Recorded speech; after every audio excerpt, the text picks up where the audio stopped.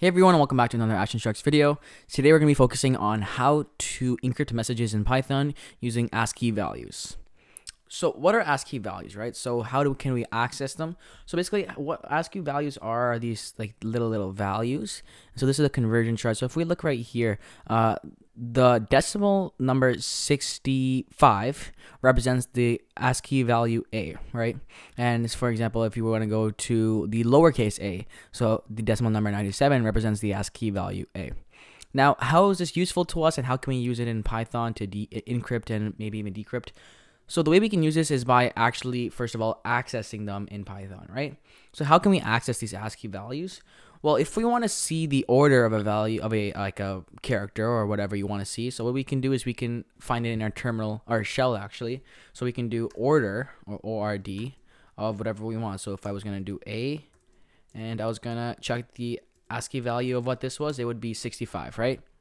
And so if I wanted to do the same thing for like uh, lowercase h, it would be 104.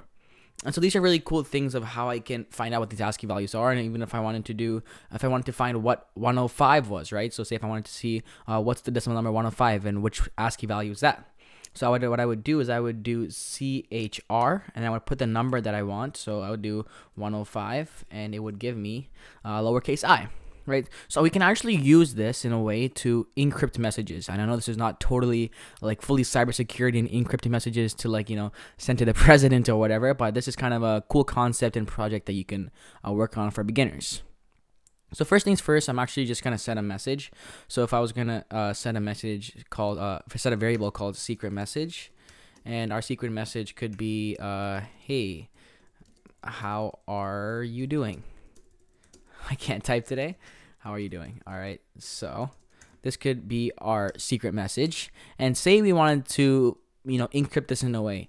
So the way to do this is we could find the character, like the decimal number of what this H would be and so on of every single character in this string. And we could find that that decimal number and we could increase it by three, causing the and, and print that plus three, causing the you know the character to shift up or shift down a little bit, and essentially encrypt the message, right? Just make it into like gibberish, basically. I know that sounds a little bit complicated right now, but as we go into the code, it'll seem a little bit easier. All right.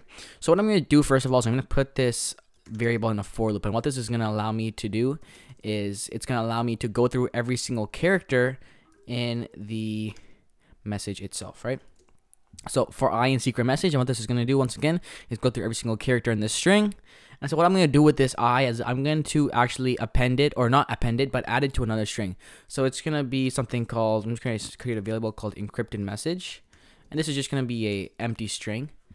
And so what I'm going to do is I'm going to go through every single character, find the a, uh, a ASCII value for that character, and you know increase it by three or decrease it by 30, and see what that leads us to, right?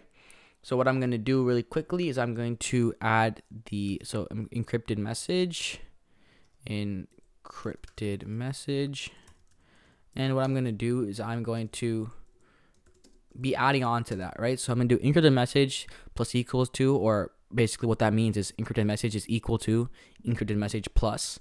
And so what I'm going to do is I'm going to find the the order or the character of the order of i right, so the character of the order of i, and I'm going to subtract that by 3.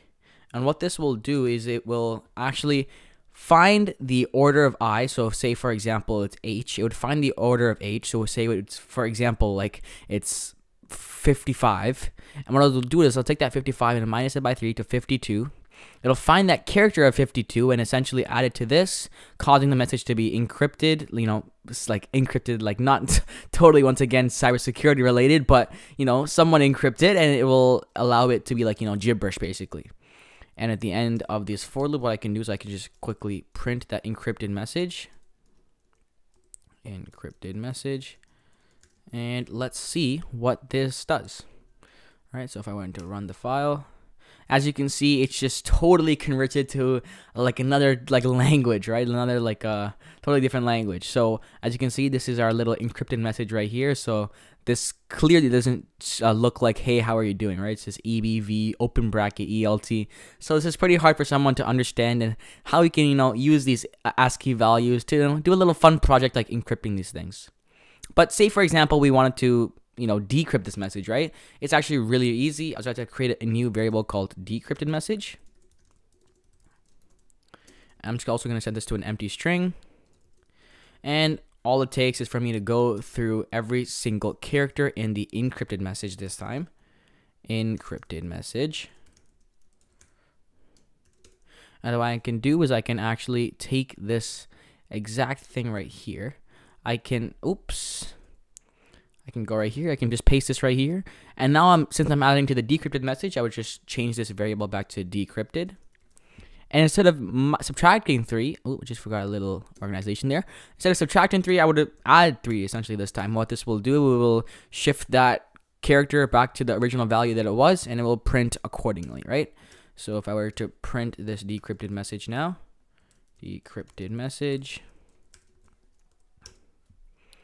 as you can see, it changes our, you know, our totally different weird string into back to, hey, how are you doing, right?